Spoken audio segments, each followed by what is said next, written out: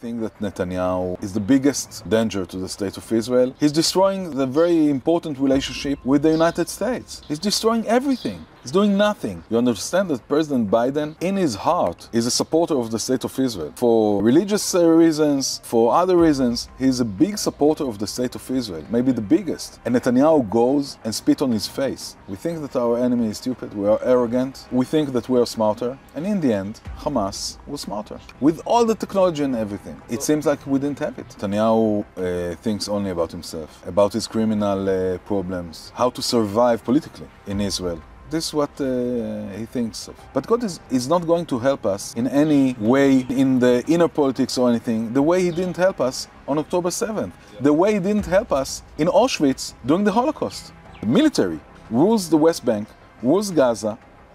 Enough. Enough. We need to find a solution.